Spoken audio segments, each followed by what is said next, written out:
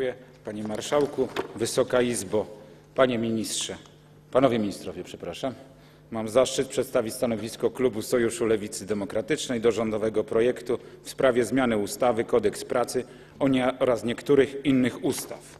Klub Poselski Sojuszu Lewicy Demokratycznej z wielkim zadowoleniem przyjął oto ten fakt, że rząd przygotował ten projekt ustawy, który, tak jak moi przedmówcy tu już wcześniej mówili, spowoduje ułatwienia dla przedsiębiorców. Wyeliminuje część procedur rejestracyjnych w Państwowej Inspekcji Pracy, w Państwowej Inspekcji Sanitarnej. Z dwóch do sześciu się to zmniejszy.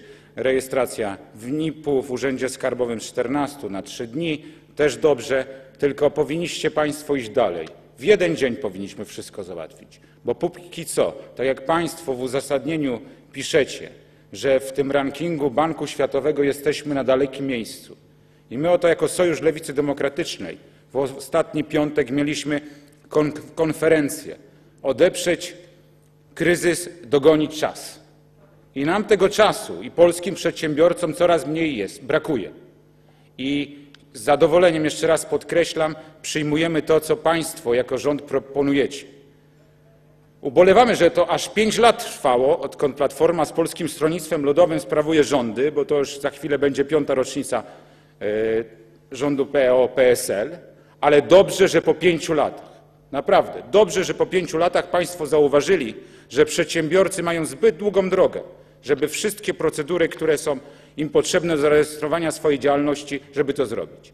Bo oto w ostatnim czasie część przedsiębiorców swoje interesy czy swoje firmy wyprowadza do innych krajów Unii Europejskiej. Nawet ostatnio czytałem, że jeden z polityków, który na tej ławie zasiadał, który ma w tej chwili działalność gospodarczą w Polsce, tą działalność zaczyna przenosić do Niemiec. I to jest kolega z Unii Wolności, co niektórych, którzy byli wspólnie, wspólnie z nim e, w klubie parlamentarnym Unii Wolności i sprawowali rządy razem z akcją wyborczą Solidarność w latach 97-2001. I całe szczęście, że rząd to zaczyna zauważać, bo przedsiębiorcy tych zmian potrzebują i na nie oczekiwali. Klub, klub, Poselski Sojuszu Lewicy Demokratycznej, tak jak pozostałe kluby, które przede mną się tutaj wypowiadały, przedstawiciele tych klubów, jest za pracami dalszymi nad tym projektem ustawy, jak również oczekujemy i przedsiębiorcy, którzy tutaj Państwo z nimi konsultowali, zrzeszenia, chcą też tych zmian dalej, żeby ułatwić rejestrację firm w Polsce, bo każdy z nich chciałby tutaj rejestrować firmę, dawać miejsca pracy, jak również uczciwie płacić podatki.